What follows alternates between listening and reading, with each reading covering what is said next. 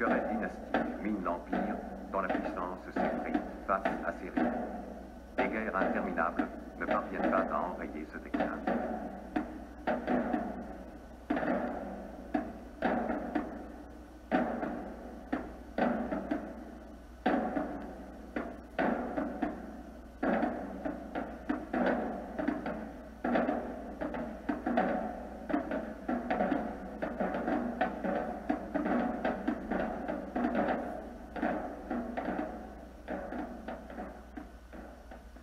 Certaines stèles, qui nous montrent d'étranges animaux mythiques, tels ce griffon ailé à tête humaine d'origine babylonienne, révèlent une emprise grandissante des puissances de Mésopotamie.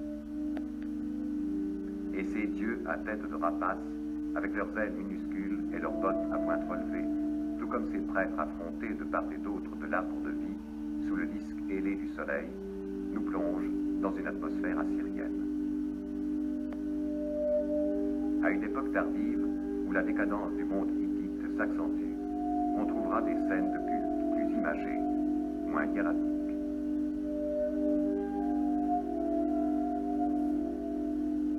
Et tout à la fin de cette longue agonie du peuple hittite, qui se déroule entre 1200 et 900 avant notre ère, on verra s'affirmer l'influence assyrienne, puissance montante du Moyen-Orient.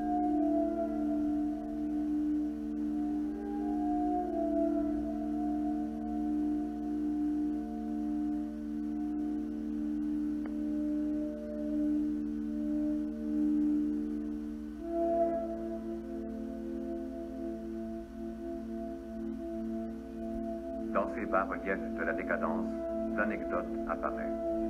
Elle nous apporte mille et un renseignements précieux sur la vie quotidienne des populations anatoliennes à l'aube du premier millénaire.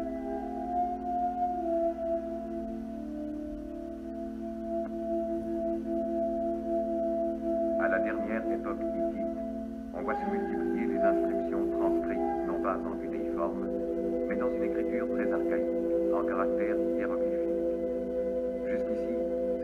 A résisté à toute tentative de déchiffrement, comme si les derniers Hittites voulaient au crépuscule de leur civilisation jadis rayonnante, emporter avec eux leurs secrets dans l'oubli.